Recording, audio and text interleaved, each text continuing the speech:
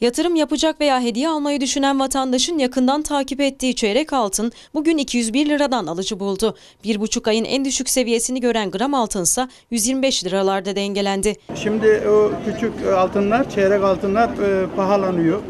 Dolar düşüyor, euro düşüyor. Şey bu.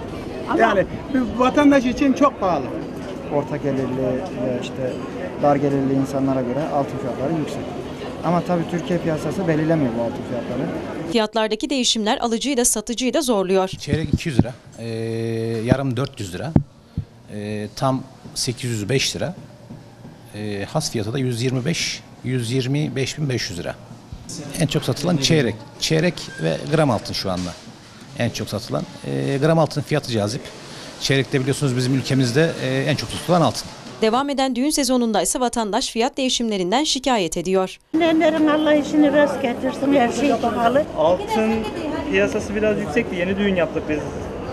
Herkes çeyrek getirdi sağ olsunlar. Bilezik bekledik çeyrek geldi.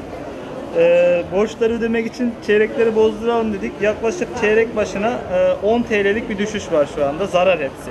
Uzmanlarsa dalgalanma olmasına rağmen altına yatırımın kazandırdığını belirtiyor. Altın dünya ee, borsasında işlem gördüğü için direkt oradan etkilenen fiyatlar babında tasarruf yapmak isteyenlere tabii ki altın.